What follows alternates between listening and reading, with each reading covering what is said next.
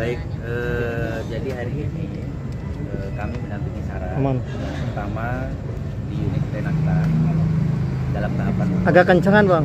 Hmm. dalam tahapan proses penyidikan ya pemeriksaan unit Renakta atas laporan Sarah terhadap Rizal atas dugaan tidak pidana kekerasan eh, dalam rumah tangga dan atau kekerasan seksual dan tadi eh, dan tadi setelah selesai kami bergeser ke unit Jatatas ya Oh, jadi kita di- langsung pemeriksaan saksi-saksi dari Sarah eh, atas laporan yang kedua Sarah terhadap Rizal, Rizal terduga tidak pidana membuat pengaduan palsu pencemaran nama baik dan fitnah. Jadi ada dua agenda ya. Mbak. Ada agenda pertama dulu nih, Dit. Ya. Seperti apa sih? Eh, Berapa pertanyaan dari petugas Sarah? Eh, tadi eh, Sarah sendiri kurang lebih eh, sekitar 17 pertanyaan ya. 17 pertanyaan Eh, dan kemudian disambung dengan saksi-saksi dan saksi Sarah 17 pertanyaan sekitar apa ya? Seputar apa? ya intinya sih pertanyaannya hanya mempertegas ya eh, jawaban-jawaban dalam tahapan proses penyelidikan.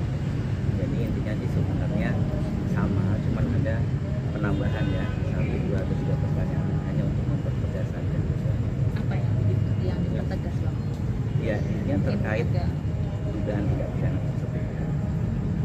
Ya mungkin eh, ini tidak perlu kami sampaikan ya secara apa eh, konkret kepada teman-teman media. Intinya di sini saya sampaikan bahwa hari ini sudah selesai dilakukan pemeriksaan terhadap Sarah dan saksi-saksinya atas laporan Sarah kepada Rizal eh, atas dugaan tidak pidana kekerasan dalam rumah tangga dan kekerasan seksual yang saat ini sudah naik ke penyidikan di unit Renata Polda Metro Jaya. Asal 17 pertanyaan. Apa adakah pertanyaan yang sulit dan seputar apa ya?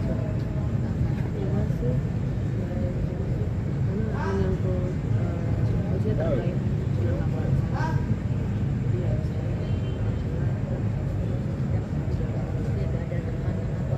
Karena kan ini kan mengulang lagi, flashback lagi, Ya. memori kamu dibuka lagi gitu. seperti yang di awal. Artinya pertanyaan itu memberatkan dari pihak sana. Ya ini intinya hanya sekedar mempertegas saja ya apa yang menjadi jawaban-jawaban sebelum proses penyelidikan sebenarnya yang membedakan ini kan cuma nama aja. Kalau kemarin itu masih klarifikasi dalam tahapan proses penyelidikan, kalau sekarang ini sudah bukan klarifikasi tapi pemeriksaan sebenarnya. Jadi nanti bukan undangan tapi panggilan. Nah, jadi pada saat nanti katakanlah eh, dua kali dipanggil bertemu secara patuh tapi terlapor tidak memenuhi undangan apa panggilan tersebut maka bisa dilakukan baik itu paksa Untuk yang pengaduan palsu itu bang udah naik penyidikan juga yang Oh, belum. laporan masih, kedua? masih klarifikasi dalam tahapan proses masih penyelidikan klarifikasi. Nah, ya. Yang kedua pengaduan.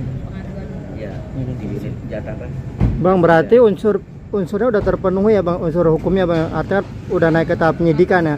ya kalau yang kalau yang pertama ini kan sudah naik ke penyidikan. Berarti kalau sudah naik ke penyidikan pada saat klarifikasi dalam tahapan proses penyelidikan ditemukan adanya indikasi perbuatan sebagaimana pasal yang dilaporkan Sarah kepada si Rijal. Kalau misalkan tidak terpenuhi, tentunya tidak akan naik ke penyidikan dan akan dihentikan pada saat gelar perkara itu. Berarti selanjutnya nanti bang eh, saudara- Rizal bukan diundang lagi dong, tapi dipanggil. Dipanggil, ya karena sekarang ini kan sudah eh, korban, saksi korban sudah diperiksa, Oke. Nanti tinggal dari pihak rumah sakit, nanti langsung dipanggil terlapor. Butuh berapa lama bang panggilan itu? Ya Dari kurang selesai. begitu tahu ya, eh, bisa ditanyakan langsung ke penyidikannya. Kapan kira-kira? Eh, membawa dua dipanggil? saksi yaitu ART dan Ya. Mantan mantan ART dan supir mantan supir. Ya. Nah, kenapa eh, memilih dia? Mungkin karena pasaran. Ya karena saksi-saksi itu kan memang yang mungkin melihat secara langsung karena unsur saksi itu adalah dia yang melihat, mendengar dan mengalami. Hmm. Melihat Karena apa? Hmm. pada saat eh, si saksi-saksi itu eh, dia kan mengetahui karena memang dia pada saat itu bekerja. Kasara ini kan ART otomatis yang dekat banget sama Kasara dalam arti kata lingkungan rumah nih ya.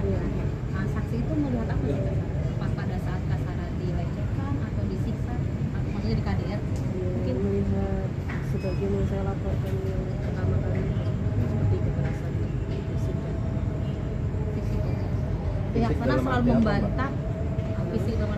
Ah, lebih detail ya seperti laporan saya yang itu Hmm. saya nggak perlu atau- nggak perlu menjelaskan secara detail Artinya Mbak Sarah tadi kan pihak sana udah bersumpah tuh di atas di bawah Al-Qur'an tuh.